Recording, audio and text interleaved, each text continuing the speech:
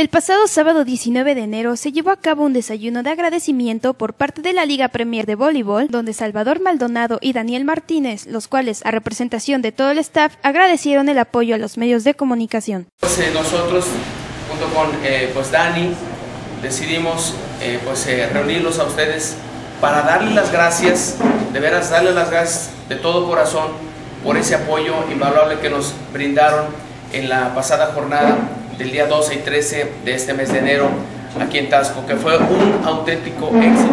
Hermanos, es una, una forma de agradecerles a todos ustedes todo el apoyo. realmente nosotros sabemos la importancia que ustedes juegan dentro de este proyecto y finalmente les vuelvo a repetir, es una forma de, de, de, darles el lugar que ustedes se merecen. ¿no? Les agradecemos de antemano a cada uno de ustedes su tiempo, la colaboración que tuvieron con este proyecto y que finalmente vamos por más. Tenemos en puerta otro, otro siguiente proyecto Estamos por confirmar precisamente la fecha como tal es. El, evento empieza en junio, que sería precisamente la Liga Premier de Voleibol en su rama femenil. Es un hecho que nosotros ya la tenemos en seis meses, pero finalmente el esfuerzo es de todos. Ustedes son parte importante de este proyecto, como, como lo comenta Chava. Y bueno, es más que nada para que ustedes convivan, que convivan con el staff, los pocos o muchos que estamos. Y bueno, gracias a todos por estar aquí.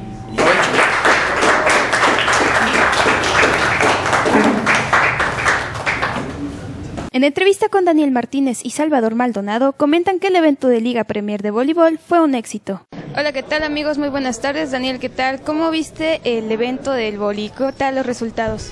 Eh, bueno, muy buenas tardes, gracias por la oportunidad nuevamente. Eh, bueno, sí, finalmente concluimos que fue un éxito la Liga Premier de Voleibol en su rama varonil.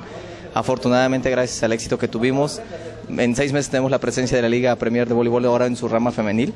Y bueno, esto es, esto es parte del trabajo que se ha venido desarrollando.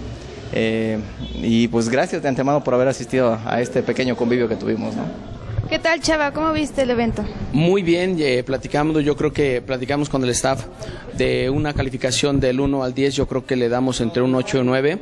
Tanto es así que, bueno, pues eh, Jorge Andrade, que es el presidente de la LPB, bueno, pues ya nos aventó también el paquete de organizar en seis meses la Liga Femenil. Con imágenes de mi compañero Héctor García, reportó para Tasco al Día Yasmín Ortega.